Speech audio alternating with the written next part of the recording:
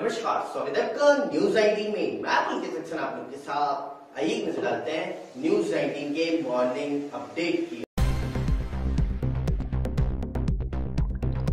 श्रीलंका ने शुक्रवार को भारत को तीसरे वनडे में तीन विकेट से हरा दिया। मैच के दौरान सूर्य कुमार यादव के विकेट पर बवाल मचा रहा। भारत की पारी के तेईसवें ओवर की पहली गेंद पर सूर्य कुमार स्ट्राइक थे। Bowling spinner Praveen Jayawickrama कर रहे थे। उनकी ऑफ़ स्टम्प के बाहर पड़ी बॉल पर सूर्य कुमार ने स्वीप मारने की कोशिश की। बॉल जाकर के सूर्य कुमार के पैड पर लगी और श्रीलंकाई खिलाड़ियों के अपील पर फ़ील्ड अंपायर कुमार धर्मसेना ने उन्हें आउट करार कर दिया। सूर्य कुमार ने अंपायर के फैसले को चुनौती देते हुए डिसीज़न रिव्यू सिस्टम का इस्तेमाल किया।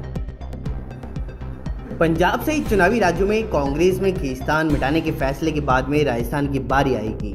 राजस्थान में अब कांग्रेस हाईकमान जल्द मंत्रिमंडल विस्तार। राजनीतिक नियुक्तियाँ और संगठनात्मक नियुक्तियों का काम खत्म करने की कवायद में है।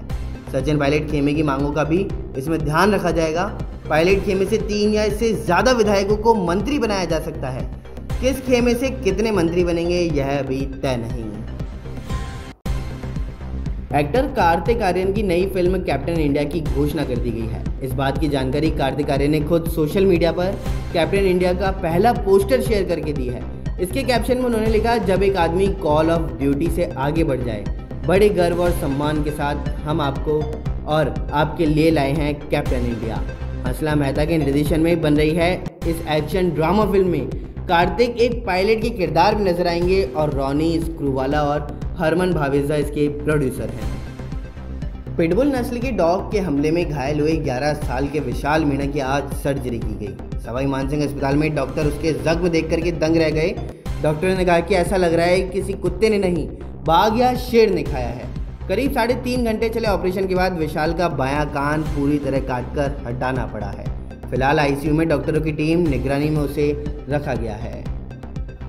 प्रदेश में 2 अगस्त से सभी कक्षाओं के बच्चों के लिए स्कूल खोलने की शिक्षा मंत्री गोविंद सिंह डोटासरा की घोषणा को मुख्यमंत्री अशोक गहलोत ने एक दिन बाद ही बदल दिया है।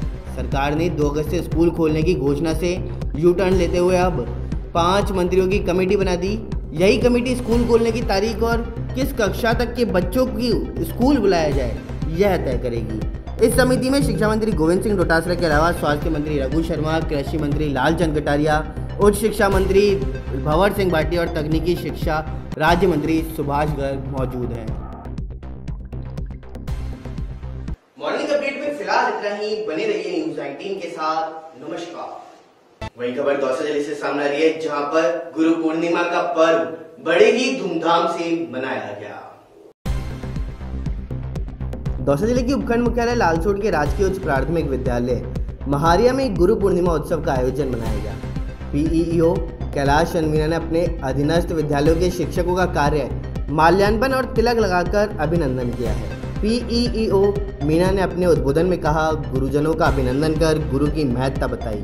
दौसाड़ा प्रधानाध्यापक रमेश चंद शर्मा ने वैदिक काल में चली आ रही गुरु शिष्य परंपरा पर प्रकाश भी डाला और व्याख्याता कमलेश गौतम ने अपने उद्बोधन में आज ए युग के बारे में शिक्षकों से गुरुतर दायित्व के निष्ठा पूर्वक निर्वहन कर बल दिया है।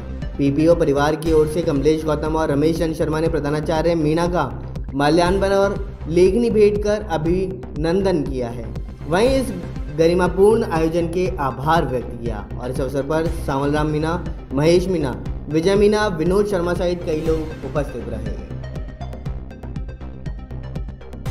वही खबर दौसा ज़िले से सामने आ रही है जहाँ पर गुरु पूर्णिमा का पर्व बड़े ही धूमधाम से मनाया गया। लालसोट उपखंड के मंडावरी में रामानुज भागवताचार्य वैदिक संस्कृत विद्याश्रम में गुरु पूर्णिमा महोत्सव मनाया गया। स्वामी रघुनाथाचार्य महाराज उज्जैन के परम सानिध्य एवं दिशा निर्देशों में श्री एक हज़ार आठ भागवताचार्य जी महाराज की प्रतिमा के समक्ष पुष्पांजलि अर्पित कर हर्षोल्लास के साथ पर्व मनाया गया। रामानुज आश्रम उज्जैन से जुड़े हुए स्वामी के सभी शिष्यों ने अपने आध्यात्मिक गुरु के चरणों में पुष्प अर्पित कर नमन किया है। गुरु की तस्वीर पर पुष्पहार चढ़ा करके विधिवत पूजा अर्चना की गई और आयोजकों ने आश्रम पर आने वाले सभी धर्म प्रेमियों को प्रसाद वितरित किया।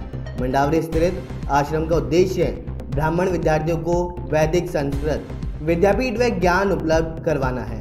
और इसी दौरान रामावतार, बजाज, अशोक वैद सहित कई लोग उपस्थित रहे। राजस्थान के एयरपोर्ट से एक और बड़ी खबर सामने आ रही है, जहाँ पर राजस्थान की राजधानी जयपुर के अंदर आज 10 फ्लाइटों को रद्द किया गया है। इसके अंतर्गत एयर एशिया इंडिगो और तमाम बड़ी फ्लाइट्स की कंपनियाँ हैं जिनकी फ्लाइट्स को आज रद्द किया गया है। आखिरकार रद्द करने के पीछे का कारण क्या कुछ कह रहा है? आइए देखते हैं हमारी इस खास रिपोर्ट में।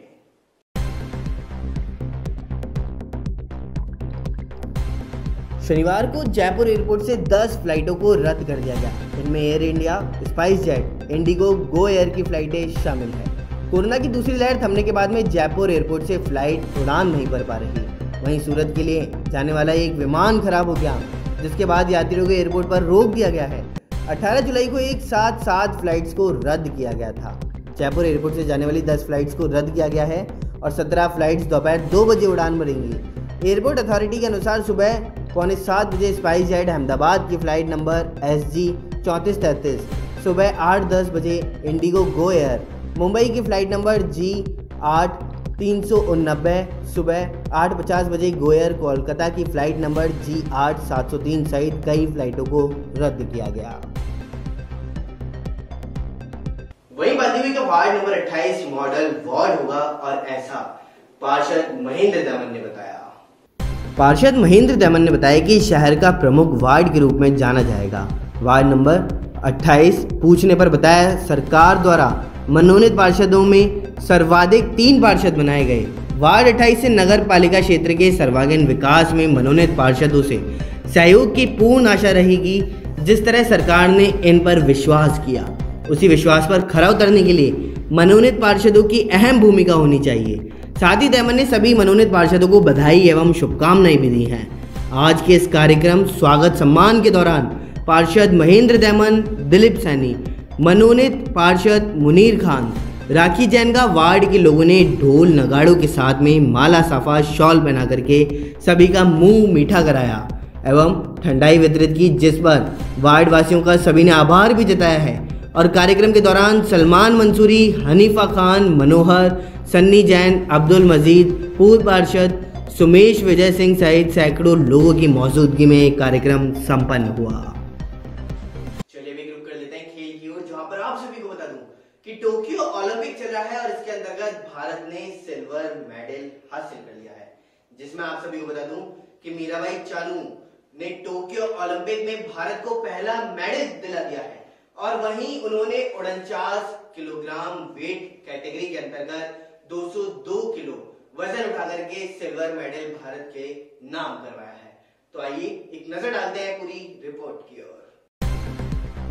मीराबाई चानू ने टोक्यो ओलंपिक में भारत को पहला मेडल दिला दिया है। उन्होंने उनचास किलोग्राम वैट कैटेगरी में टोटल 202 किलो वज़न उठा करके सिल्वर मेडल हासिल किया है। इस तरह देश को वेट लिफ्टिंग में 21 साल बाद ओलंपिक मेडल मिला है। इससे पहले 2000 में सिडनी ओलंपिक में कर्णम मल्लेश्वरी ने ब्रॉन्ज जीता था। मीराबाई की सफलता इस मायने में खास हो जाती है कि वे 2016 रियो ओलंपिक में अपने एक भी प्रयास में सही तरीके से वेट नहीं उठा पाई थी। उनकी हर कोशिश को डिस्कालीफाई कर दिया गया था। मीराबाई ने ओलंपिक में जाने से पहले कहा था कि टोक्यो ओलंपिक में ज़रूर मेडल जीतूँगी। मेरे पास ओलंपिक खेलने का अनुभव है। मैं अपने पहले ओलंपिक में मेडल जीतने से चूक गई थी। तब अनुभव की कमी के कारण मैं मेडल जीतने में सफल नहीं हो सकी और 2016 में रियो ओलंपिक से ओलंपिक चैंपियन बनने तक की उनकी कहानी ज़बरदस्त रही। 2016 में जब वह भार नहीं उठा पाई थी, तब उनके नाम के आगे डिड नॉट फिनिश लिखा गया था। किसी प्लेयर से मेडल की रेस में पिछड़ जाना अलग बात है और क्वालिफाई ही नहीं कर पाना दूसरी बात है। डिड नॉट फिनिश के टैग ने मीरा का मनोबल तोड़ दिया था और 2016 ओलंपिक में उनके इवेंट के वक्त भारत में रात थी और बहुत कम ही लोगों ने वह नज़ारा देखा होगा, जब वेट उठाते वक्त उनके हाथ अचानक से रुक गए। यही वेट इससे पहले उन्होंने कई बार आसानी से उठाया था। रातों रात मीराबाई मेडल नहीं जीतने पर बस एक आम एथलेटिक रह गई हैं। इस हार से वे डिप्रेशन में गई थी और उन्हें साइकेटिस्ट का सहारा भी लेना पड़ा था। राजस्थान के अंदर स्कूलों को खोलने को लेकर के शिक्षा मंत्री गोविंद सिंह डोटासरा अब अपने ही बयानों के अंदर उलझते हुए नज़र आ रहे हैं। क्योंकि लगातार राजस्थान के अंदर बयानबाजी का दौर तो चलता ही रहता है और इस बयानबाजी के दौर में कौन सा मंत्री क्या कह देता है, यह अभी तक सुनिश्चित ही नहीं हो पाता है उन खुद को, जिसके आधार पर अब राजस्थान की जनता को खामियाजा इसका भुगतना पड़ेगा। जी हाँ आप सभी को बता दूँ कि अभी कुछ ही समय पहले शिक्षा मंत्री गोविंद सिंह डोटासरा ने बयान जारी किया था और उन्होंने कहा था कि 2 अगस्त से स्कूलों को खोला जाएगा और सभी स्कूलों को खोला जाएगा। और इसी के साथ साथ अब इस बयान के ऊपर लगातार घमासान मच गया, क्योंकि अभिभावकों के अंदर तो लगातार हाहाकार मचा हुआ था कि आखिर किस प्रकार से स्कूलों को खोला जा रहा है, क्योंकि ना तो बच्चों की वैक्सीनेशन हुई है और ना ही बच्चों के लिए कोई टीके आए हैं। लेकिन वहीं कल इनके बयानबाजी में मुख्यमंत्री अशोक गहलोत भी जुटते हुए नज़र आए हैं। मुख्यमंत्री अशोक गहलोत ने साफ़ साफ़ कह दिया कि जब आपने बयान दिया तो उसके एक दिन पहले मंत्रिपरिषद की बैठक हुई थी और इस बैठक के दौरान तारीख सुनिश्चित नहीं की गई थी कि आखिरकार किस तारीख को स्कूलों को खोला जाएगा तो आपने आखिरकार क्यों बोला कि दो तारीख को हम अगस्त में स्कूल खोलने जा रहे हैं? इसी को लेकर के अब मुख्यमंत्री अशोक गहलोत ने पाँच मंत्रियों की समिति भी बनाई है और वह सुनिश्चित करेगी कि किस आधार पर स्कूलों को खोला जाए और अन्य जगह जहाँ पर अभी स्कूलों को खोला गया है, वहाँ पर आखिरकार किस प्रकार की व्यवस्था रखी गई है और वहाँ का फीडबैक क्या कुछ है, उसी के आधार पर अब राजस्थान के अंदर स्कूलों को खोला जाएगा और अभी सुनिश्चित नहीं है कि 2 अगस्त से ही स्कूलों को खोला जाएगा या फिर इसकी डेट को एक्सटेंड किया जा सकता है। तो इसी के साथ देखिए हमारी एक खास रिपोर्ट कि आखिरकार डोटासरा ने क्या कहा था और उसके बाद में मुख्यमंत्री अशोक गहलोत ने इसमें पलटवार में क्या कुछ कहा।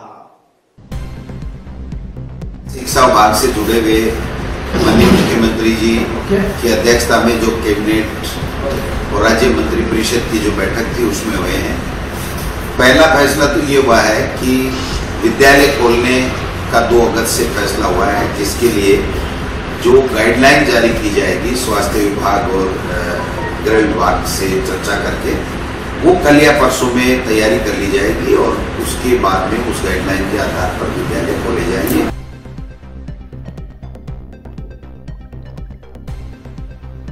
प्रदेश के अंदर 2 अगस्त से सभी कक्षाओं के बच्चों के लिए।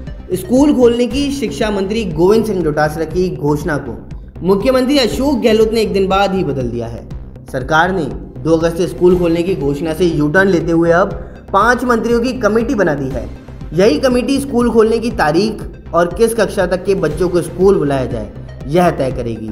इस समिति में शिक्षा मंत्री गोविंद सिंह डोटासरा के अलावा स्वास्थ्य मंत्री रघु शर्मा, कृषि मंत्री लालचंद कटारिया, वहीं उच्च शिक्षा मंत्री राज्य मंत्री भंवर सिंह भाटिया और तकनीकी शिक्षा राज्य मंत्री सुभाष गर्ग मौजूद हैं। शिक्षा मंत्री गोविंद सिंह डोटासरा ने एक दिन पहले गुरुवार की रात को कैबिनेट की बैठक के बाद 2 अगस्त से सभी कक्षाओं के स्कूलों को खोलने की घोषणा की थी। स्कूल, कॉलेज खोलने की एसओपी तय करने को लेकर के मुख्यमंत्री अशोक गहलोत ने शुक्रवार की रात वर्चुअल बैठक करके शिक्षा मंत्री की घोषणा को पूरी तरह पलट दिया है। मुख्यमंत्री अशोक गहलोत ने कहा कि कोविड महामारी की संभावित तीसरी लहर को देखते हुए शिक्षण संस्थानों को खोलने की एसओपी के संबंध में गहन विचार विमर्श कर फैसला लिया जाना चाहिए। इसके लिए मंत्रियों की समिति, भारत सरकार के स्वास्थ्य और मानव संसाधन मंत्रालयों आईसीएमआर के साथ जिन राज्यों में स्कूल कॉलेज खुले हैं, वहाँ से संपर्क करके उनके अनुभव और फीडबैक पर चर्चा करेगी। साथ ही भारत सरकार द्वारा जारी दिशा निर्देशों की जानकारी लेकर के शिक्षण संस्थानों को खोलने की तारीख और एसओपी के संबंध में निर्णय लिया जाएगा।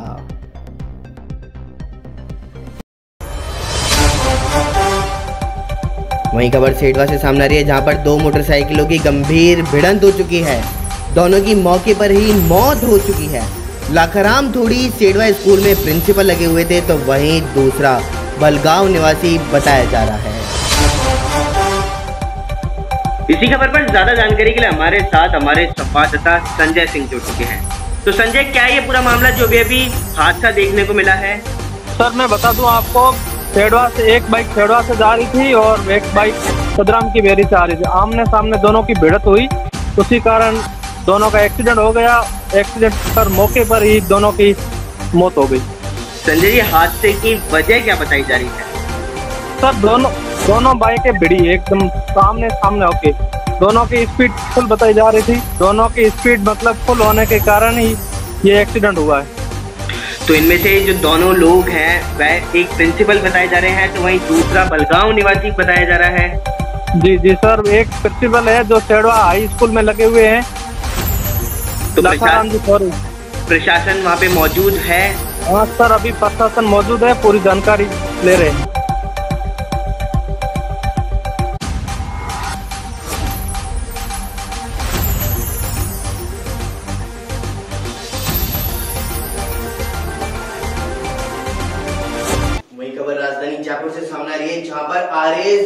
परीक्षा का रिज़ल्ट घोषित होने के बाद में गोविंद सिंह डोटासरा मुश्किलों में फंसते हुए नज़र आ रहे हैं।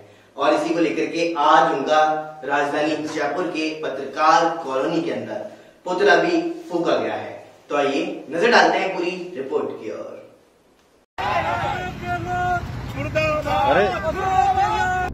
राजस्थान आरएएस भर्ती परीक्षा के परिणामों को लेकर के राजस्थान में घमासान मचा हुआ है। राजस्थान आरएएस भर्ती परीक्षा परिणामों में धांधली का आरोप। राजस्थान के शिक्षा मंत्री गोविंद सिंह डोटासरा पर लगा हुआ है। शिक्षा मंत्री पर आरोप लगाया जा रहा है कि उन्होंने अपने रिश्तेदारों और सगे संबंधियों को अनुचित लाभ दिया है परिणामों के अंदर। और इसी को लेकर के विपक्षी पार्टी बीजेपी के साथ साथ जनता उनके इस्तीफे की मांग भी कर रही है। साथ ही आज अनुचित लाभ दिए जाने को लेकर के पत्रकार कॉलोनी चौराहा भागरोटा मंडल में विरोध प्रदर्शन किया गया। साथ ही शिक्षा मंत्री का पुतला भी फूका गया।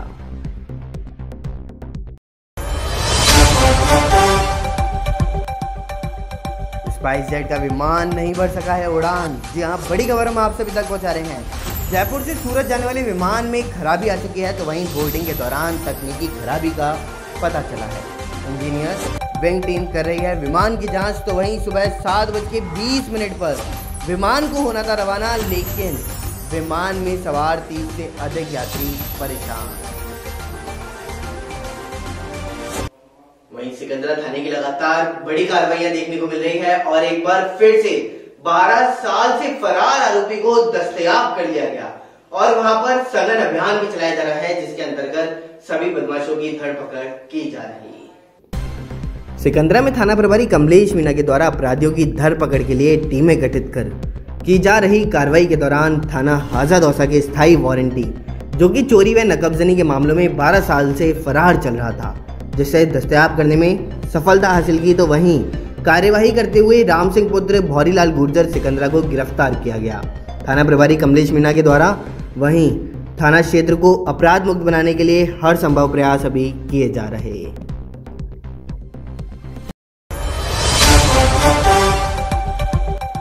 कांग्रेस के संगठन महामंत्री वेणुगोपाल रात तक जयपुर पहुँचेंगे। यहाँ बड़ी खबर हम आप सभी तक पहुँचा रहे हैं। और प्रदेश प्रभारी अजय माकन भी आएँगे जयपुर।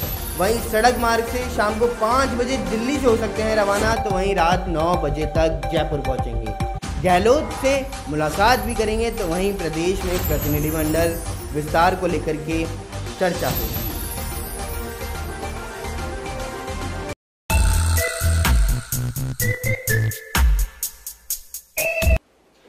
नमस्कार, स्वागत है आपका न्यूज़ 19 में मैं पुलिस सेक्शन आप लोग के साथ आइए नज़र डालते हैं अखबार की सुर्खियाँ मेरे साथ। आप सभी को बता दूँ कि राज्य के अंदर मंत्रिमंडल विस्तार 31 जुलाई तक संभव बताया जा रहा है। जी हाँ राजस्थान के अंदर मंत्रिमंडल विस्तार 31 जुलाई तक संभव बताया जा रहा है तो वहीं आज केसी वेणुगोपाल जयपुर के अंदर पहुँचेंगे। वहीं साथ ही साथ प्रदेश प्रभारी अजय माकन ने पहले ही मुख्यमंत्री अशोक गहलोत और सचिन पायलट दोनों से अलग अलग मुलाकात कर रखी है और उसी के बाद में उन्होंने फैसला भी किया है कि आखिर किस प्रकार से इस मंत्रिमंडल का विस्तार किया जाएगा और किसको क्या पद दिया जाएगा। अभी तक अपने पत्ते न गहलोत सरकार ने खोले हैं, न ही जो कमेटी के अंदर प्रदेश प्रभारी बनाए गए हैं, उन्होंने खोले हैं और ना ही सचिन पायलट ने खोले हैं। अभी सब जगह असमंजस सा बना हुआ है और वहीं इसी बीच बड़ी बात तो ये सामने आ रही है कि मंत्रियों की संख्या 30 में से 28 ही रखी जाएगी। दो मंत्री नहीं बनाए जाएँगे। आखिरकार कैसे इसका विस्तार किया जाता है, ये तो जल्द ही आप सभी को पता चल जाएगा। साथ ही आप सभी को एक बात और बता दूँ कि जब मंत्री परिषद की बैठक एक दिन पहले हुई थी, यानी कि जब गोविंद सिंह डोटासरा ने स्कूल खोलने की तारीख सुनिश्चित की थी कि 2 अगस्त को स्कूल खोले जाएँगे। उससे एक दिन पहले मंत्री परिषद की बैठक हुई थी और उस बैठक के अंतर्गत यह डिसाइड नहीं किया गया था कि आखिरकार कितनी तारीख को स्कूलों को खोला जाएगा। लेकिन जब डोटासरा का बयान सामने आया तो उसके अंतर्गत साफ़ साफ़ स्पष्ट हो गया कि 2 अगस्त से स्कूलों को खोला जाएगा और इसी को लेकर के मुख्यमंत्री अशोक गहलोत नाराज़ होते हुए नज़र आ रहे हैं। क्योंकि उन्होंने कहा कि जब एक दिन पहले ही मंत्रिपरिषद की बैठक हुई तो उस दौरान ऐसा कुछ निर्णय नहीं किया गया कि आखिरकार किस तारीख को स्कूल खोला जाएगा, लेकिन आपने स्कूल खोलने का समय बता दिया और इसी के साथ साथ उन्होंने यह भी कहा कि आप सभी ने अभी तक ना तो इसकी कोई गाइडलाइन बनाई है कि किस प्रकार से स्कूलों को खोला जाएगा और कैसे इसके अंतर्गत बच्चे पढ़ाई करेंगे। तो वहीं गहलोत ने एक और बात कही कि पाँच मंत्रियों की समिति बनाई है जिसके अंतर्गत वह मंत्री डिसाइड करेंगे कि आखिरकार किस प्रकार की कार्य प्रणाली पर वह बनाएँगे और उसी के आधार पर स्कूलों को खोला जाएगा। साथ ही आप सभी को बता दूँ कि ड्रोन अटैक लगातार देखने को मिल रहे हैं और एक बार कल फिर जम्मू के अंदर उड़ता हुआ ड्रोन दिखाई दिया और हमारे जवानों ने उसको गिरा दिया। जी हाँ छह पंखों वाले ड्रोन के ऊपर से पाँच किलो विस्फोटक सामग्री भी बरामद की गई है। और इसी के साथ साथ आप सभी को बता दूँ कि फ़्लाइट कंट्रोलर व जीपीएस सिस्टम भी उसके ऊपर लगा हुआ था और यह ड्रोन पाकिस्तानी ड्रोन बताया जा रहा है, लेकिन इसमें कहीं ना कहीं हाथ चाइना का भी आता हुआ सामने आ रहा है। इस पर ज़्यादा जानकारी मैं आप सभी को ज़रूर दूँगा, लेकिन उससे पहले मैं अखबार की सुर्खियों में आप सभी को कोरोना के आंकड़ों से अवगत करवा देता हूँ। जिसके अंतर्गत आप सभी को बता दूँ कि राजस्थान के अंदर कोरोना के आंकड़े कभी बढ़ते हैं तो कभी कम होते हैं। कल की बात करें तो कल 25 कोरोना के नए केस सामने आए थे और उसके बाद में फिर बीते 24 घंटे के अंदर ये केसों का आंकड़ा बढ़ चुका है और अब 33 कोरोना के नए केस 24 घंटे के अंदर सामने आते हुए नज़र आए हैं। इसी के साथ, फ़िलहाल किसी की भी मौत राजस्थान के अंदर कोरोना वायरस की वजह से नहीं हुई है, लेकिन वही राजस्थान की राजधानी जयपुर के अंदर 15 कोरोना के नए मामले मिलते हुए नज़र आए हैं। तो इसी के साथ अखबार की सुर्खियों के अंदर तो फ़िलहाल इतना ही। बने रहिए न्यूज़ 19 के साथ। नमस्कार।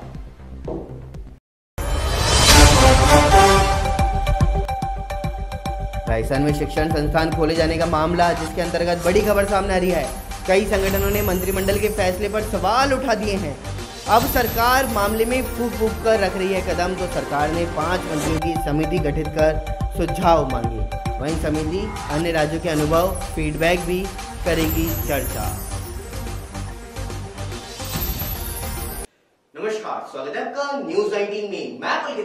के साथ आइए नज़र डालते हैं न्यूज़ 19 की फटाफट खबरों की ओर, फटाफट अंदाज में। महामारी की कालखंड में तेज रफ्तार से फ़िल्मों की शूटिंग करने के मामले में अक्षय कुमार और अजय देवगन एक दूसरे को टक्कर दे रहे हैं। इस साल के लॉकडाउन को छोड़ दें तो अजय देवगन पिछले साल के दूसरे हाफ़ से लगातार कई प्रोजेक्ट्स की शूटिंग में बिज़ी हैं। आलम यह है कि एक प्रोजेक्ट के चलते हुए दूसरे प्रोजेक्ट की शूटिंग में खासी देरी होने लगी है। मिसाल के तौर पर अजय देवगन तीन बार बाद अपने करियर के पहले वेब शो रुद्र की शूटिंग करने वाले हैं। उसका असर अजय देवगन की फ़िल्म मैडे पर पड़ने वाला है। शनिवार को जयपुर एयरपोर्ट से 10 फ्लाइट्स को रद्द कर दिया गया। इनमें Air India SpiceJet IndiGo Go Air की फ्लाइटें शामिल हैं। कोरोना की दूसरी लहर थमने के बाद जयपुर एयरपोर्ट से फ़्लाइट उड़ान नहीं भर पा रही। फ्लाइट्स रद्द करने का कारण यात्रियों का कम होना बताया जा रहा है। वहीं सूरत के लिए जाने वाले एक विमान खराब हो गया, जिसके बाद यात्रियों को एयरपोर्ट पर रोक दिया गया और 18 जुलाई को एक साथ, सात फ्लाइट्स को रद्द कर दिया गया था। श्रीलंका ने भारत को आखिरी वनडे में तीन विकेट से हरा दिया। दो सौ सत्ताईस रन के टारगेट को श्रीलंकाई टीम ने उनतालीसवें ओवर में सात विकेट के नुकसान पर हासिल कर लिया। टीम इंडिया को अड़सठ रन बनाने में सात विकेट गंवाना भारी पड़ गया। इसकी वजह से टीम तियालीस पॉइंट एक ओवर में 225 रन पर ऑल आउट हो गई और मैच का स्कोर कार्ड देखने के लिए वहीं दिक्कत हो गई।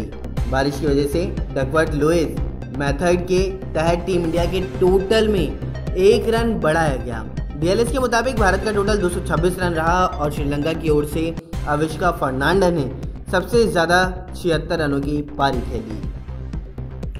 राजस्थान के 28 जिलों में आज कोरोना की वैक्सीन नहीं होने से वैक्सीनेशन अभियान ठप पड़ा है। वहीं शुक्रवार की देर शाम केवल 1.9 लाख वैक्सीन की डोज केंद्र सरकार को मिली है। जिसे जयपुर, सीकर, कोटा, अजमेर और जोधपुर में भिजवा दिया गया। जयपुर में आज केवल शहरी क्षेत्र के चुनिंदा सेंटर्स पर ही वैक्सीन लगाई जा रही है, जबकि ग्रामीण इलाकों में तो वैक्सीन आज पहुँची ही नहीं। ऐसे में उम्मीद जताई जा रही है कि लोगों को 26 जुलाई से ही टीके लगने दोबारा शुरू होंगे। पंजाब सहित चुनावी राज्यों में कांग्रेस में खींचतान मिटाने के फैसले के बाद में राजस्थान की बारी आएगी। राजस्थान में अब कांग्रेस हाईकमान, जल्द मंत्रिमंडल विस्तार, राजनीतिक नियुक्तियों और संगठनात्मक नियुक्तियों का काम खत्म करने की कवायद में है। पायलट खेमों की मांग का भी इसमें ध्यान रखा जाएगा और पायलट खेमे से तीन या इससे ज़्यादा विधायकों को मंत्री बनाया जा सकता है। किस खेमे से कितने मंत्री बनेंगे, ये आने वाला वक्त बताएगा। टोक्यो ओलंपिक में भारत ने पहला मेडल जीत लिया है। वेट लिफ्टर मीराबाई चानू ने महिलाओं की उनचास किलोग्राम वेट कैटेगरी में कुल 202 किलोग्राम वज़न उठाकर के सिल्वर मेडल जीता है। चीन की हो जियोई ने 210 किलोग्राम वज़न उठा करके गोल्ड मेडल जीता और इंडोनेशिया की कैंटिका विंडी ने ब्रांज जीता है। सीसी दूसरी ओर, भारतीय shooter Saurabh Chaudhary 10 metre air pistol event के फाइनल में सातवें स्थान पर रहे। सौरभ छह सीरीज़ के क्वालिफाइंग राउंड में 600 में से पाँच सौ छियासी अंक हासिल कर पहले स्थान पर रहे थे, लेकिन फाइनल में वह अच्छा प्रदर्शन नहीं कर सके। महाराष्ट्र में शनिवार को भी बारिश का कहर जारी रहा। वहीं गुरुवार शाम से लेकर के अब तक बारिश से जुड़ी अलग अलग घटनाओं में 136 लोगों की मौत हो चुकी है। बुरी तरह प्रभावित ठाणे, रायगढ़, रत्नगिरी, सतारा, सांगली और कोल्हापुर जिलों से। 8000 से ज़्यादा लोगों को एनडीआरएफ, नेवी और आर्मी ने रेस्क्यू किया है। 200 से ज़्यादा गाँवों का प्रमुख इलाकों से संपर्क टूट गया। पॉन मूवीज़ मामले में राज कुंद्रा की गिरफ्तारी के बाद में कयास लगाए जा रहे थे कि मुंबई पुलिस की क्राइम ब्रांच शिल्पा शेट्टी को सामान भेजेगी। लेकिन अब ये जानकारी सामने आ रही है कि एक्ट्रेस राज कुंद्रा की कंपनी व्यान इंडस्ट्री से पहले ही इस्तीफा दे चुकी है। शिल्पा ज़्यादातर बिज़नेस में कुंद्रा की पार्टनर है। फटाफट खबरों में फ़िलहाल इतना ही। बने रहिए न्यूज़ 19 के साथ। नमस्कार। टोक्यो ओलंपिक को लेकर के एक और बड़ी खबर सामने आई है जिसमें मीराबाई चानू को सिल्वर मेडल प्राप्त हुआ है। प्रधानमंत्री नरेंद्र मोदी लोकसभा अध्यक्ष ओम बिरला ने बधाई भी दी तो वहीं चानू की जीत देशवासियों के लिए प्रेरणा। प्रधानमंत्री नरेंद्र मोदी ने, नारी शक्ति ने फिर देश का नाम रोशन किया ऐसा कहा। तो वहीं बिरला ने पूरे देश को इस उपलब्धि पर गर्व है और साथ ही साथ ओम बिरला ने भी ऐसी बात कही।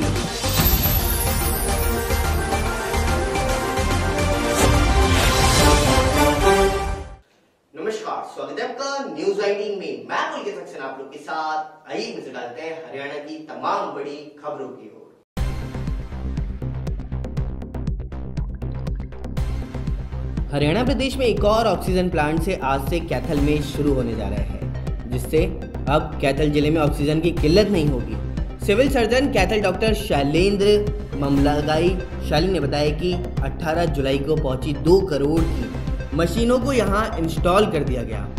प्लांट से हर मिनट हज़ार लीटर ऑक्सीजन का उत्पादन होगा और कोरोना की दूसरी लहर में जब महामारी पीक पर थी, तब सिविल अस्पताल कैथल में रोज़ाना करीब 14 लाख लीटर ऑक्सीजन की खपत हो रही थी। लेकिन प्लांट की ऑक्सीजन क्षमता रोज़ाना 14.40 लाख लीटर होगी। प्लांट चालू होने के बाद में ऑक्सीजन सेंट्रल पाइपलाइन के ज़रिए सीधे मरीज़ के बेड तक सप्लाई की जाएगी। इससे मरीजों के परिजनों और अटेंडेंट को सिलेंडर उठा करके भटकने की ज़रूरत नहीं होगी, क्योंकि अब तक अस्पताल में या तो नीचे बने मैनी फोल्ड रूम में सिलेंडर लगाकर या फिर सीधे बेड के साथ सिलेंडर रख करके ऑक्सीजन दी जा रही थी, लेकिन प्लांट लग जाने के बाद मरीजों को काफ़ी राहत मिल जाएगी। हरियाणा के रेवाड़ी में दिल्ली जयपुर हाईवे स्थित जयसिंहपुरा खेड़ बॉर्डर पर आंदोलन कर रहे किसानों के बीच आज भारतीय किसान यूनियन के नेता राकेश टिकैत पहुँचे इसी दौरान वह किसानों को दिल्ली में चल रही किसान संसद की जानकारी देने के लिए, साथ ही किसान आंदोलन को और तेज करने के लिए प्रेरित करेंगे।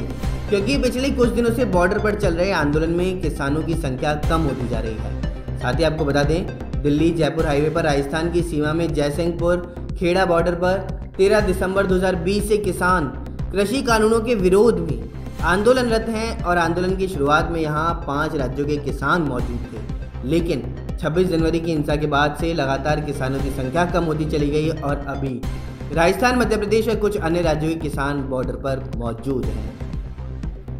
पानीपत में आज भी धूप और छांव की आँख मिचोली देखने को मिलेगी। आसमान में आशंके रूप से बादल छाए रहेंगे और बारिश न होने के कारण अधिकतम तापमान 33 डिग्री सेल्सियस तक पहुंचेगा।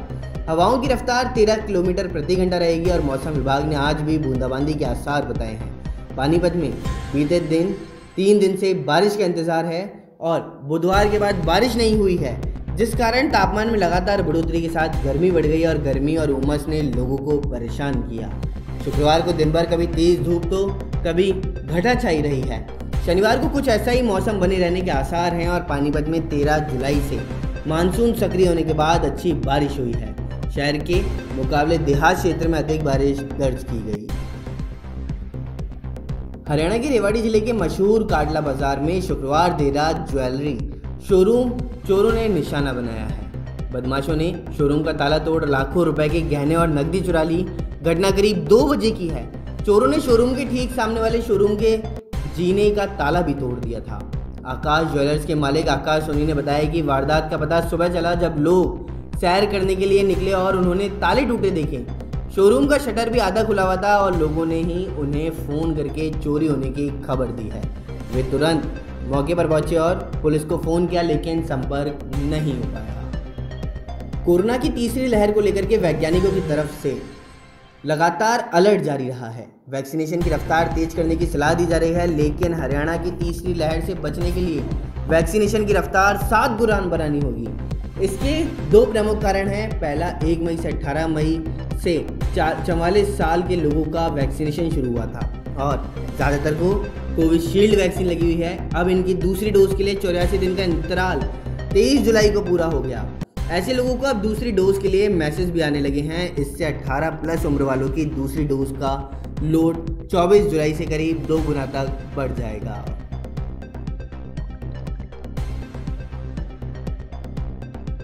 हरियाणा की तमाम बड़ी खबरों में फ़िलहाल इतना ही। बने रहिए न्यूज़ 19 के साथ। नमस्कार। माध्यमिक शिक्षा बोर्ड का परिणाम जारी हो चुका है। जी हाँ बड़ी खबर हम आप सभी तक पहुँचा रहे हैं कि माध्यमिक शिक्षा बोर्ड का परिणाम जारी हो चुका है तो वहीं शिक्षा मंत्री गोविंद सिंह डोटासरा ने जारी किया परिणाम। तीन वर्गों का परिणाम जारी हुआ। कला वर्ग में पाँच लाख बानवे हज़ार दो सौ अट्ठारह छात्रों का हुआ था पंजीकरण। तो वहीं पाँच लाख बानवे हज़ार इक्यावन छात्र उपस्थित थे। विज्ञान वर्ग में दो लाख छत्तीस हज़ार तीस छात्रों का हुआ था पंजीकरण। जिनमें से दो लाख पैंतीस हज़ार नौ सौ चौवन छात्र हुए थे उपस्थित। साथ ही साथ वाणिज्य वर्ग में इकतीस हज़ार नौ सौ तिरानवे छात्रों का पंजीकरण किया गया था। तो वहीं साथ ही साथ इकतीस हज़ार नौ सौ उनबे छात्र उपस्थित हुए। चलिए अभी ग्रुप कर देते हैं राजधानी जयपुर की ओर, जहाँ पर कुछ समय पहले एक पिटबुल डॉग ने एक 11 साल की बच्चे के ऊपर हमला कर दिया था। उस हमले के अंतर्गत 11 साल का बच्चा बेरहमी से घायल हो गया था और उसके चेहरे के साथ साथ शरीर पर कई घाव देखने को मिले थे और उसका इलाज राजस्थान की राजधानी जयपुर के एसएमएस अस्पताल के अंदर चल रहा था और वह अभी आईसीयू वार्ड के अंदर भर्ती भी बताया जा रहा है। लेकिन इसी बीच बड़ी खबर तो ये सामने आ रही है कि डॉक्टरों का कहना है कि उसको जिन कुत्ते ने काटा है, उस कुत्ते के काटने से उसका 70 प्रतिशत तक इलाज तो अभी तक किया जा चुका है, लेकिन अभी 30 प्रतिशत तक इलाज उसके सही होने के बाद में किया जाएगा, और वह आईसीयू के अंदर है। लेकिन डॉक्टरों का वही दूसरी ओर कहना यह भी था कि जिस तरह से बाघ या चीता काटता है, उसी तरह से इस नस्ल के कुत्ते ने काटा है, और यह बहुत ही हानिकारक है, क्योंकि इससे जान का खतरा साफ़ साफ़ मंडरा रहा है। तो आइए एक नज़र डालते हैं कि आखिरकार उस बच्चे की हालत अभी कहाँ तक सुधार पहुँचा है और डॉक्टर का उस हालत में क्या कुछ कहना है।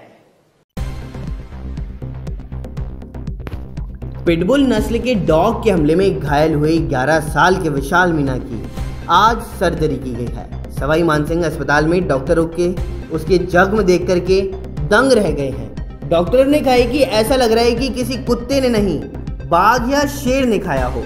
करीब साढ़े तीन घंटे चले ऑपरेशन के बाद विशाल का बायां कान पूरी तरह काटना पड़ा है। फ़िलहाल आईसीयू में डॉक्टरों की टीम की निगरानी में उसे रखा गया।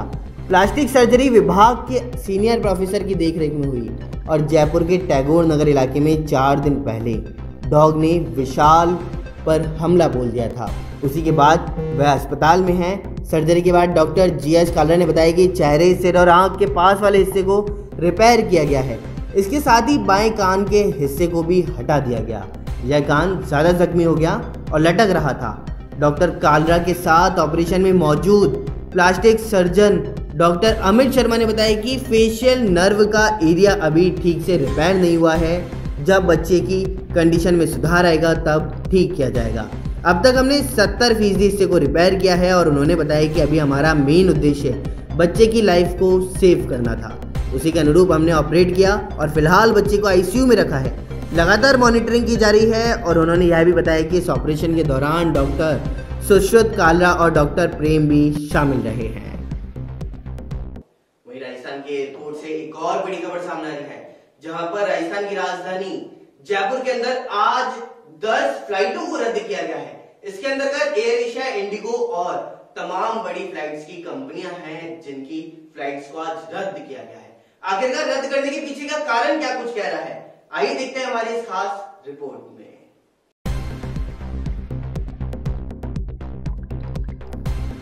शनिवार को जयपुर एयरपोर्ट से 10 फ्लाइटों को रद्द कर दिया गया। इनमें Air India, SpiceJet, IndiGo, Go Air की फ्लाइटें शामिल हैं। कोरोना की दूसरी लहर थमने के बाद में जयपुर एयरपोर्ट से फ़्लाइट उड़ान नहीं भर पा रही। वहीं सूरत के लिए जाने वाला एक विमान खराब हो गया, जिसके बाद यात्रियों को एयरपोर्ट पर रोक दिया गया है। 18 जुलाई को एक साथ सात फ्लाइट्स को रद्द किया गया था। जयपुर एयरपोर्ट से जाने वाली 10 फ्लाइट्स को रद्द किया गया है और 17 फ्लाइट्स दोपहर दो बजे उड़ान भरेंगी। एयरपोर्ट अथॉरिटी के अनुसार सुबह पौने सात बजे स्पाइस जेट अहमदाबाद की फ़्लाइट नंबर एस जी चौंतीस तैंतीस, सुबह आठ दस बजे इंडिगो गो एयर मुंबई की फ़्लाइट नंबर जी आठ तीन सौ उनबे सुबह आठ पचास बजे गोयर कोलकाता की फ़्लाइट नंबर जी आठ सात सौ तीन सहित कई फ्लाइटों को रद्द किया गया। वहीं बादीवी का वार्ड नंबर 28 मॉडल वार्ड होगा और ऐसा पार्षद महेंद्र दामन ने बताया। पार्षद महेंद्र दैमन ने बताया कि शहर का प्रमुख वार्ड के रूप में जाना जाएगा। वार्ड नंबर 28 पूछने पर बताया, सरकार द्वारा मनोनीत पार्षदों में सर्वाधिक तीन पार्षद बनाए गए। वार्ड 28 से नगर पालिका क्षेत्र के सर्वांगीण विकास में मनोनीत पार्षदों से सहयोग की पूर्ण आशा रहेगी, जिस तरह सरकार ने इन पर विश्वास किया। उसी विश्वास पर खरा उतरने के लिए मनोनीत पार्षदों की अहम भूमिका होनी चाहिए। साथ ही ने सभी मनोनीत पार्षदों को बधाई एवं शुभकामनाएँ भी दी हैं। आज के इस कार्यक्रम, स्वागत सम्मान के दौरान पार्षद महेंद्र दैमन दिलीप सैनी, मनोनीत पार्षद मुनीर खान, राखी जैन का वार्ड के लोगों ने ढोल नगाड़ों के साथ में माला साफा शॉल पहना करके सभी का मुँह मीठा कराया एवं ठंडाई वितरित की, जिस पर वार्ड वासियों का सभी ने आभार भी जताया है। और कार्यक्रम के दौरान सलमान मंसूरी, हनीफा खान, मनोहर, सन्नी जैन, अब्दुल मजीद, पूर्व पार्षद सुमेश विजय सिंह सहित सैकड़ों लोगों की मौजूदगी में कार्यक्रम संपन्न हुआ।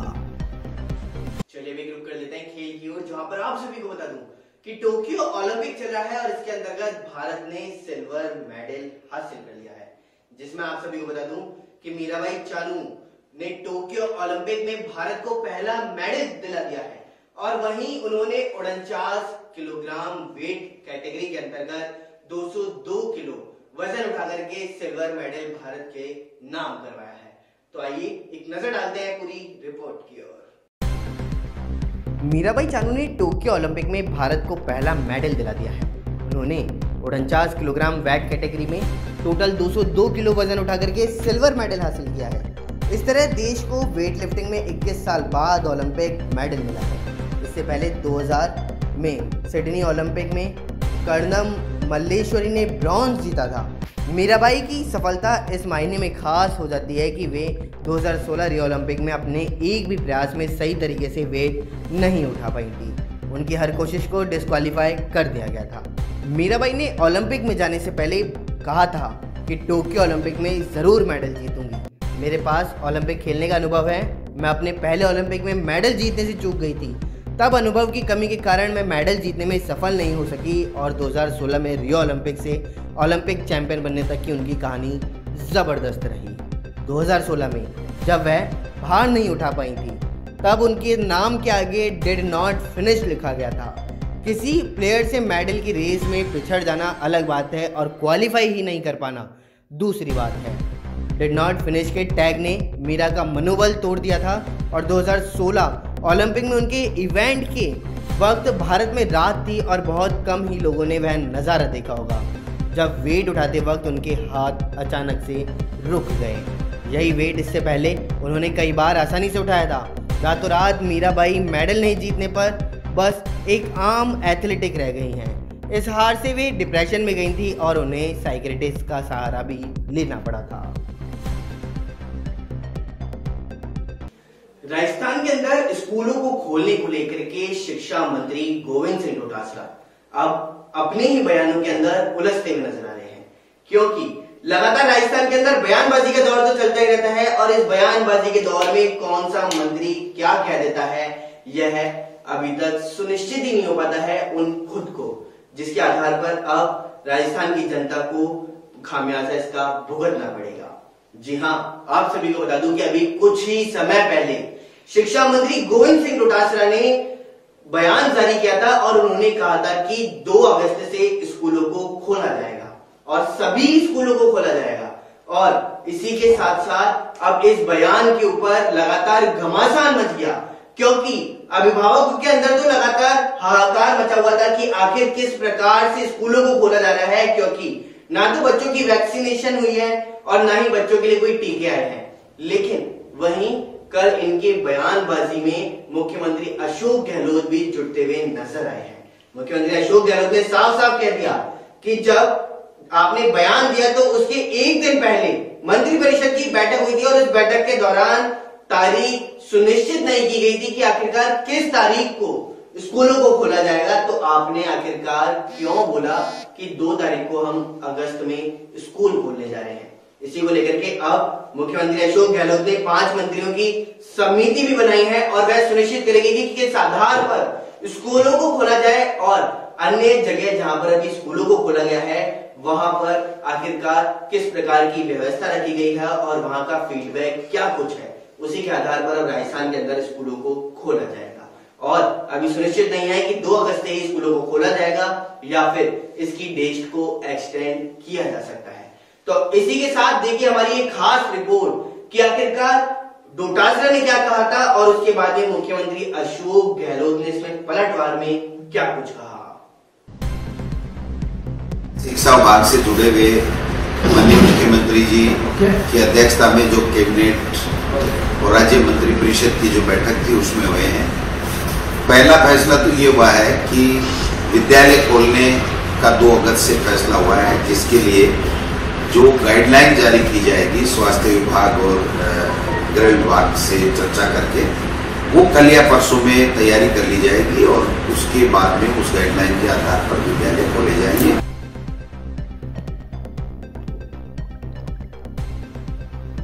प्रदेश के अंदर 2 अगस्त से सभी कक्षाओं के बच्चों के लिए स्कूल खोलने की शिक्षा मंत्री गोविंद सिंह डोटासरा की घोषणा को मुख्यमंत्री अशोक गहलोत ने एक दिन बाद ही बदल दिया है। सरकार ने 2 अगस्त से स्कूल खोलने की घोषणा से यूटर्न लेते हुए अब पाँच मंत्रियों की कमेटी बना दी है। यही कमेटी स्कूल खोलने की तारीख और किस कक्षा तक के बच्चों को स्कूल बुलाया जाए, यह तय करेगी। इस समिति में शिक्षा मंत्री गोविंद सिंह डोटासरा के अलावा स्वास्थ्य मंत्री रघु शर्मा, कृषि मंत्री लालचंद कटारिया, वहीं उच्च शिक्षा मंत्री, राज्य मंत्री भंवर सिंह भाटिया और तकनीकी शिक्षा राज्य मंत्री सुभाष गर्ग मौजूद हैं। शिक्षा मंत्री गोविंद सिंह डोटासरा ने एक दिन पहले गुरुवार की रात को कैबिनेट की बैठक के बाद 2 अगस्त से सभी कक्षाओं के स्कूलों को खोलने की घोषणा की थी। स्कूल, कॉलेज खोलने की एसओपी तय करने को लेकर के मुख्यमंत्री अशोक गहलोत ने शुक्रवार की रात वर्चुअल बैठक करके शिक्षा मंत्री की घोषणा को पूरी तरह पलट दिया है। मुख्यमंत्री अशोक गहलोत ने कहा कि कोविड महामारी की संभावित तीसरी लहर को देखते हुए शिक्षण संस्थानों को खोलने की एसओपी के संबंध में गहन विचार विमर्श कर फैसला लिया जाना चाहिए।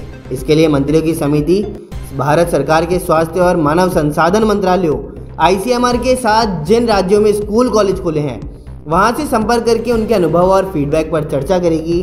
साथ ही भारत सरकार द्वारा जारी दिशा निर्देशों की जानकारी लेकर के शिक्षण संस्थानों को खोलने की तारीख और एसओपी के संबंध में निर्णय लिया जाएगा। वहीं कल सिकंदरा के अंदर गुरु पूर्णिमा के पर्व पर बड़ी ही धूमधाम से लोगों ने पर्व मनाया है और अपने गुरुओं का स्वागत सम्मान किया। तो आइए नज़र डालते हैं पूरी रिपोर्ट की ओर। गुरु पूर्णिमा पर्व बड़ी धूमधाम से मनाया गया है तो वहीं कस्बे के मंदिरों में धार्मिक कार्यक्रमों की धूम रही है। वहीं लोग अपने गुरुओं का पूजन करते नज़र आए हैं। कस्बे के श्री राम मंदिर आश्रम पर लोग बड़ी संख्या में नज़र आए तो जगह जगह भजन सत्संगों का आयोजन भी हुआ है। गुरु पूर्णिमा के पर्व पर मंदिरों में प्रसादी का वितरण किया गया तो वहीं गंगा माता मंदिर में महिलाओं ने सत्संग किया है। और मान्यता के अनुसार अषाढ़ शुल्क पूर्णिमा को गुरु पूर्णिमा के रूप में मनाया जाता है। इस दिन शिष्य अपने गुरु की विशेष पूजा करता है और यथाशक्ति दक्षिणा, पुष्प आदि भेंट करता है। वहीं उदयपुर वाटी के अंदर लाइन डालने को लेकर के विरोध प्रदर्शन किया गया है। और इस विरोध प्रदर्शन के पीछे की वजह आखिरकार क्या कुछ कह रही है, आइए जानते हैं हमारी इस खास रिपोर्ट से। उदयपुरवाटी पहाड़िया ग्राम में स्थित नोहरा गाँव में आम रास्ते से एक तरफ़ बिजली बोर्ड द्वारा पोपो पर ग्यारह हज़ार की लाइन डाली जा रही है। इसको लेकर के नौरा गाँव के लोगों ने लाइन डालने वाले ठेकेदारों के सामने विरोध प्रदर्शन किया और सरकार को कार्य को रुकवा दिया गया। गाँव के समाज सेवी खेमचंद स्वामी व विष्णु स्वामी ने बताया है कि बिजली बोर्ड द्वारा ग्यारह हज़ार की लाइन अंदर ग्राउंड केबल, लाइन डाली जाए, जिससे भविष्य में किसी प्रकार का हादसा नहीं हो। बिजली बोर्ड द्वारा जो लाइन डाली जा रही है, वह आम रास्ते पर बनी सीसी रोड से मात्र दो फुट की दूरी पर ही है, जिससे बड़ा हादसा हो सकता है। और इसी दौरान लालचंद मिटावा, कुंदन स्वामी, राजकुमार स्वामी, रणजीत गुर्जर, कालूराम स्वामी सहित कई लोग मौजूद रहे। उत्तरपुरवाटी से नोरा जाने वाली सड़क है। उसके शीशी सड़क के पास पास ग्यारह की लाइन खड़ी कर दी। और वो कभी भी हादसा हो सकता है तो हमारी मांग ये है कि इसकी लाइन की जगह केबल, ग्यारह की केबल अंडरग्राउंड कर दी जाए और डीपी लगा के इसको उदयपुरवाटी में जियो के टावर है उसको कनेक्शन दे हमारे कोई एतराज़ नहीं परंतु इसको अंडर लाइन लाइन गिर जाए। हम मांग नहीं मानी जाएगी तो हम गाँव के धरना प्रदर्शन करेंगे इसको भूख हड़ताल पर बैठेंगे। गाँव नोरा के अंदर जो सीसी रोड जा रहा है ना उसके नज़दीक ही पोल लगा रखे हैं। दुर्घटना होने का चांस ज़्यादा है उसके अंदर तो उसका अंडरलाइन करी जाए। बरसात का मौसम है एक्सीडेंट होने का हादसा भी हो सकता है। चलिए अभी रुक कर देते हैं, दौसा ज़िले की और जहाँ पर आप सभी को बता दूँ कि नाथ समाज ने रैली निकाल करके एसडीएम को ज्ञापन सौंपा है। आखिरकार ये ज्ञापन सौंपने के पीछे की वजह क्या कुछ कह रही है, आइए जानते हैं हमारी खास रिपोर्ट से। दौसा ज़िले के उपखंड मुख्यालय लालचोट पर शनिवार को नाथ समाज के लोगों ने ज्योतिबा फुले सर्किल से बाइक रैली निकाल करके एसडीएम कार्यालय तक प्रदर्शन किया है। साथ ही आप सभी को बता दूँ कि आज तक अपने मांग और प्रदर्शन तो सुने होंगे और देखे भी होंगे। लेकिन नाथ समाज के लोगों ने शनिवार को हिंदी का एक ऐसा शब्द गौरखा धंधे, पर बैन लगाए जाने की मांग को लेकर के बाइक रैली निकालते हुए लाल सोट। एसडीएम गोपाल जांगिड़ को ज्ञापन सौंपा है। नाथ समाज के लोग जिला अध्यक्ष गिरिराज, पूर्व अध्यक्ष लक्ष्मी नारायण जगदीश, मुकेश योगी सहित दर्जनों लोगों का कहना है कि नाथ संप्रदाय व सनातन धर्म के गुरु गोरखनाथ के नाम को गलत कार्यों से जोड़ने के विरोध में गोरख धंधे शब्द पर लगे बैन लगाए जाने की मांग की है। नाथ संप्रदाय के लोगों ने कहा कि, गुरु, गोरखनाथ के नाम का गलत तरीके से प्रयोग करना उचित नहीं है। इससे धार्मिक भावनाओं पर चोट लगती है और उन्होंने मांग करते हुए कहा कि, इस शब्द पर पूर्णतः बैन लगाया जाए। इसका प्रयोग करने वालों के खिलाफ कानूनी कार्रवाई भी की जाए।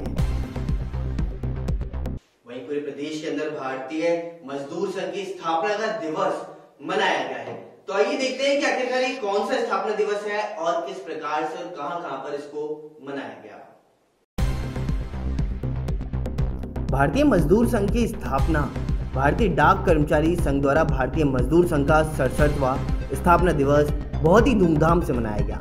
भारतीय मजदूर संघ मजदूरों के लिए मजदूरों द्वारा मजदूर हित में कार्य करता है। कार्यक्रम की अध्यक्षता मालीराम स्वामी, सहायक महासचिव, भारतीय ग्रामीण डाक सेवा संघ ने की है। कार्यक्रम के मुख्य अतिथि सुनील अग्रवाल, महासचिव, भारतीय प्रशासनिक शाखा एवं विकास तिवारी, क्षेत्रीय संगठन मंत्री, भारतीय डाक कर्मचारी महासंघ रहे हैं। सुनील अग्रवाल ने बताया कि आज यह उत्सव राजस्थान के सभी मंडल मुख्यालयों में मनाया जा रहा है और यह कार्यक्रम राजस्थान में 2100 से ज़्यादा जगहों एवं डाक कर्मचारियों संघ द्वारा 50 से ज़्यादा जगहों पर मनाया जा रहा है। वहीं संघ के क्षेत्रीय संगठन मंत्री विकास तिवारी ने बताया कि भारतीय मजदूर संघ की स्थापना शून्य से सृष्टि रचना का संकल्प था। इसकी स्थापना का उद्देश्य था कि मजदूर क्षेत्र में एक ऐसे श्रमिक संगठन का गठन करना, जो मजदूरों का, मजदूरों द्वारा मजदूरों के लिए सिद्धांत पर राष्ट्रहित है, उद्योग हित व मजदूर हित के लिए कार्य करेंगे। वही खबर उदयपुरवाटी से, जहाँ पर एक युवक ने मामला दर्ज कराया है, थाने के अंदर मारपीट और जान से मारने का। आखिरकार उसने ये मामला दर्ज क्यों कराया और उसके ऊपर मारपीट आखिरकार क्यों की गई? आइए जानते हैं इस खास रिपोर्ट से। उदयपुरवटी स्थानीय थाने में एक युवक ने मारपीट व जानलेवा हमला करने का मामला दर्ज करवाया। पुलिस ने मामला दर्ज कर कार्यवाही शुरू कर दी है। जानकारी के अनुसार गौरीशंकर सैनी पुत्र प्रहलाद ढाणी बोरोली तक चौकड़ी चला थाना खंडेला रात लगभग सवा दस बजे बाइक से नीम का थाना पुलिस थाने में परिजनों को खाने देने के लिए जा रहा था। इसी दौरान झड़ाए के नज़दीक कुछ लोगों ने हमला कर दिया और मारपीट कर रुपए छीन करके ले गए। गाँव के कई लोगों ने मारपीट करने वालों को गिरफ़्तार करने की मांग भी की। प्रशासन से अपील की, गौरी शंकर सैनी, निवासी डाणी बोराणी गाँव चौकड़ी अत्तन खंडे तहसील खंडेला, जिला सीकर का रहने वाला था। ये नीम का थाना और थाने पर खाना लेकर जा रहा था अपने परिजनों का। परिवार दर्ज कराने के लिए ये लोग वहाँ पर थाने पर थे और रात को जब ये थाने पर गया तो पैसे और खाना दोनों लेकर गया था। तो जैसे ही ये जड़ाया पहुँचा, वहाँ जाते वो सामने वाले जो विपक्ष पार्टी थी वो जड़ाया, इसको मिली, इसकी गाड़ी को रोककर इसके साथ मारपीट की और जानलेवा हमला किया। तो हम प्रशासन से ये आग्रह करते हैं कि जल्दी से जल्दी जो इनके साधु जाति की उन लोगों को कानूनी कार्रवाई में लेकर उनके साथ सजा दी जाए उनको और परिवार को न्याय दिलाया जाए।